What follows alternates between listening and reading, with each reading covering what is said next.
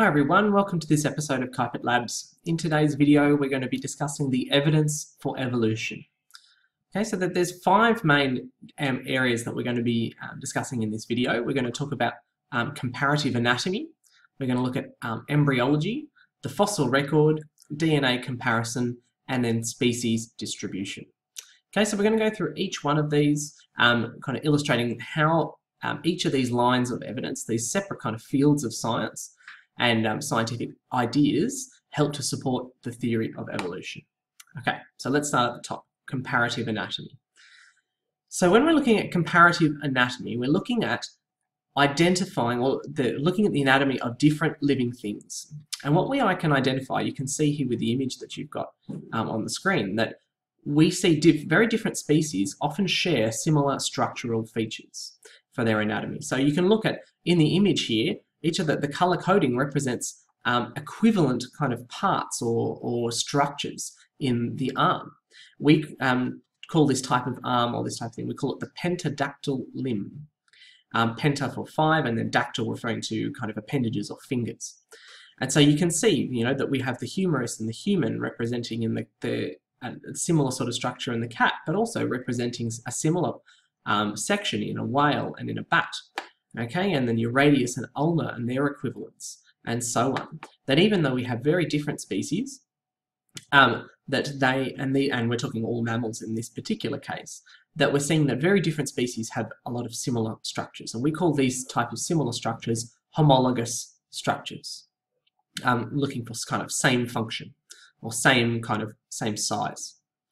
Okay, we also can then look at what we call embryology or the study of the embryos of very different species. And what we can identify is that each of the embryos for very different organisms have a lot of similarity in their appearance at very early stages. So you can see that whether we're talking about fish or salamander, tortoise, chicken, rabbit, human, that at this very early stage of embryonic development, right, you know, at the very early stages of that organism, that there's a lot of similarity there. Although, as you can see, as the the embryo grows and develops in that in the, the uterus or wherever that may be happening, that then we start to, to get some differentiation, or as far as each species starts to become more and more different as it grows up, but starting from something very similar at that early stage. We can also then look at the fossil record. So identifying fossils that we can dig out of the ground. One of the concepts that we, we look at with fossils is that on that the rock layers that are further down are older than rock layers that are above it. So if we look at, okay, say, a cross-section of the land, that the rocks at the bottom are the oldest rocks, and then as we get further towards the surface, that we have newer and newer rocks. Now, depending on the rocks and depending on the area, that they may represent different periods of time in geological terms, but that ultimately from bottom to top, we're seeing older to newer. And what we identify is that as we look at the fossils that we find in the different layers, that the organisms we find start off simpler and become more and more complex as we progress through newer and newer rocks. So giving us the, the concept that the organisms that we have today are more complex than the ones that existed in the past, suggesting um, this descent with modification or this change over time in the living things that exist. Okay, and then in different places at different stages in the rocks that we see um, uh, you know, changes in species or things that have become extinct, new species that seem to have arisen at different points in history. Okay, and that's how we can trace things like when different dinosaurs would have lived and so on. Okay, and then what we can also do is looking at a very different kind of field, you know, fossil, the fossil record much more in the geology or paleontology kind of area of science. Here now we can actually study the DNA of different organisms. So looking at the genetic makeup or the genetic instructions in organisms that we can identify that there are genetic relationships between different organisms. Okay, so looking at the four that you've got here, human, chimpanzee, gorilla, and orangutan, that you can see that there are different sequences or different parts that have that are in common between these different species. That there are gaps or there are differences, and then so you can kind of trace the family tree over here and seeing that humans and chimpanzees, for example, have the most in common of these four organisms. And so what we see is that between species there can be very similar DNA sequences. We have a surprising amount in common with a range of different species, suggesting a common ancestor at some point in the past. And then lastly, um, we also can look at what we call species distribution, or another word for it is called biogeography. So looking at how um, the geography of the land and kind of the makeup of the, the, the, the environment in which um, species are found has a dramatic effect on um, how they've changed over time.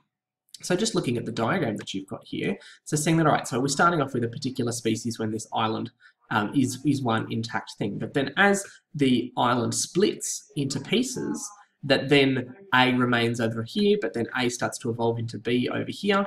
And then as this section splits, that then B evolves into C, and then so on, that as more and more separation or more and more change happens in the landscape, that we get um, different on separate kind of uh, patterns of evolution that happen. We call this divergent evolution, um, where separated species evolve differently. So um, this was one of the classic examples was with Charles Darwin um, when he, he looked at the finches, a type of, of bird that existed on the Galapagos Islands off the coast of South America, and seeing that separa- the separation of the islands and the different um, environments that existed there led to very different uh, changes in the, the structure of the finches in terms of the beak that they had and, and the other kind of features they, they either had or didn't have depending on their, their different environment but then suggesting that at some point in the past that they did share a common ancestor and then they've they've differentiated or become different from there.